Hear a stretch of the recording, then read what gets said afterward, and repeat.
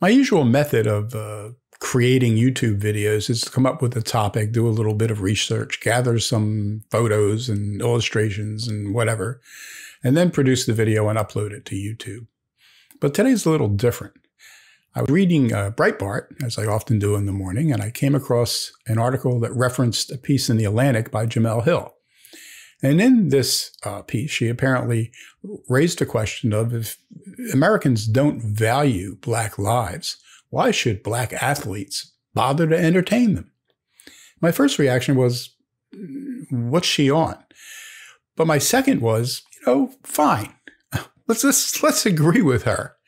And let's, you know, support the proposition that African American athletes should just stop playing professional sports until we solve all the social justice issues in this country.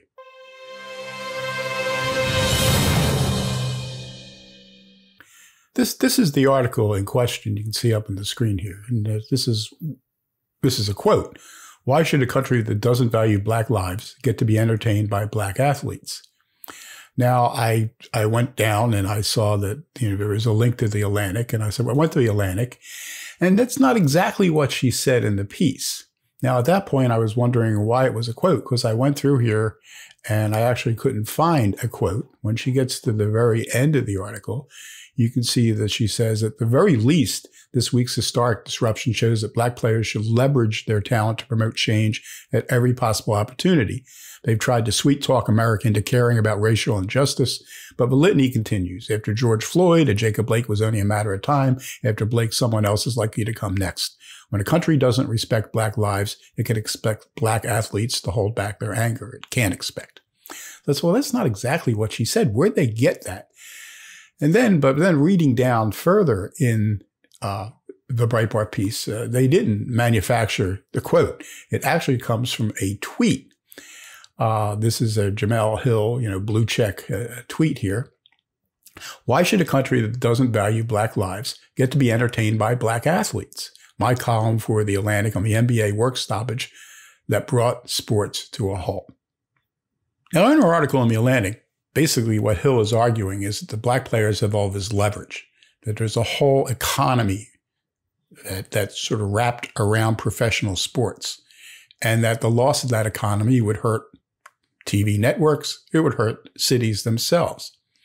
And I think that that's a good point that she's making. The problem is, right now, I think that leverage is a lot lower than it's been in the past. And matter of fact, you could say it's going down. I mean, if you look at sports in general, professional sports, you know, they were shut down by COVID 19. Now, a lot of people missed professional sports. I missed mostly college sports, March Madness. But people did survive without it. And I know a lot of people, and I'm one of them, who basically broke the habit of watching sports. And I say it's a habit because that's how I grew up. My, my, my, grandparents watched sports. My parents watched sports. My neighbors watched sports. I can remember as a kid, you know, walking around in Philadelphia at night. People didn't have central air then. The windows were open. The doors were open. And if the Phillies were playing, you'd hear it on the TV or the radio. A lot of kids, you know, we carry our little FL channel on, on cable. But it just wasn't the same. I knew who won those playoff games, and they kept showing the same ones over and over again. So I just stopped watching. I broke the habit. Now, on top of COVID came over racial unrest, racially rooted unrest in the country, and the response of professional athletes, especially professional black athletes, but not exclusively, by making statements, you know, not wanting to play, not wanting to do this or that, and putting Black Lives Matter you know, on the court, allowing people to wear slogans on their jerseys, but only certain slogans. I mean, I actually saw somebody go in and try to go to the NBA site and put like free Hong Kong on the jersey. No go. You can't do that. But you can put Black Lives Matter or something, uh, the name of somebody who's been killed by a cop. That's possible. But if you have your own agenda, forget it. You can't do it. So it really looked bad. And then you have a problem with the NBA and China that goes back even before all these problems. And I think there's a, there's a lot of antipathy, especially toward the NBA. You could argue toward professional sports in general. And on top of the COVID 19 came this antipathy, and we can see it playing out in the ratings of television. They're down. You know, in, in some cases, the NBA ratings are down 30, 40, even 50% over games in previous seasons. And we don't know what's going to happen with the NFL when they pick up. Are they going to get their audience back? And they've been losing audience, you know, for the years. And on top of that, you've got empty facilities. I mean, they're playing to no crowd. And I think this was epitomized by, you know, the WNBA players walking off the court a while back. Uh, my response to that was, I mentioned it to somebody and they said there is, they didn't even know there was a WNBA. And of course, I actually realized I had never watched a w, WNBA game in my life. And from the little I've read about them, what I knew was they only exist because the NBA subsidizes the teams. I guess if you have an NBA franchise, you have to have a WNBA franchise or something like that. And if it wasn't for all this underwriting going on by the, the male teams, these teams wouldn't even exist. So they have a very low TV ratings. They're playing in an empty facility. So there's no audience there. There's nobody to cheer for them. And they're walking off when they play the national anthem. And, you know, I said, fine. Well, you know, I, I can't say I would boycott them because I've never watched them anyway. But with the support from the NBA, I had the same view toward the NBA. And although I usually don't watch professional basketball during the season, I almost always watch the playoffs, especially when LeBron James is involved. And this year I haven't watched any of the games. And I haven't watched a single baseball game. I haven't watched a hockey game. I never watched soccer anyway. And I don't think I'm alone. I know there are plenty of people on social media who, who share my opinions who are also taking that same approach toward professional sports. So while I understand her argument that they have leverage, I think right now, at the present moment, they actually have less leverage than they've had in the past. And the other problem is if you look at how people are responding to these peaceful protests, which are often morphing into and have more recently become almost exclusively riots, uh, the polls are showing that people are getting fed up with this stuff. The polls are showing that people have a much more negative view of Black Lives Matter than they did in the past. And it's starting to dawn on people, you know, what Black Lives Matter means. I mean, just the term itself is fine. Black Lives Matter, of course. Black Lives Matter. All lives matter. And I know you can't say that, that's racist. But nevertheless, I've just said it. So call me a racist. I don't care anymore because I get called a racist constantly. But while people feel for Black lives, and many people believe, as do I, that there are problems with racial injustice in this country, that doesn't mean they support the organization BLM, Black Lives Matter which is, and you can see this if you look and you do a little research, basically a Marxist government that just doesn't want social justice in this country. They want to destroy the country. They want to destroy the Republican system, small r Republican political system we have. They want to destroy capitalism. This is a revolutionary group. So to see their name on a court, my response is fine, put it on the court, put it on your jerseys, click. I'm turning you off. And I don't think I'm alone in this. So the idea that they have all this leverage, I think is really misplaced. But then as I was mulling it all over, it suddenly hit me. You know, Mike, you really agree with Jemele Hill.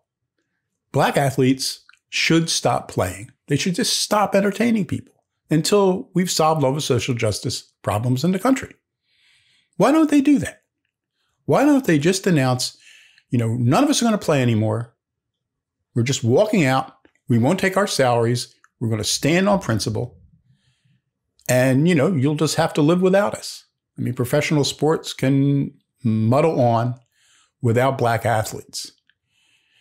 And we'll put up a, you know, we, the, the black athletes, will get a, you know, a commission together you can have LeBron James and a couple people from the NBA, and you can have some black football players and black baseball players and black soccer players. And I guess there's a couple black hockey players.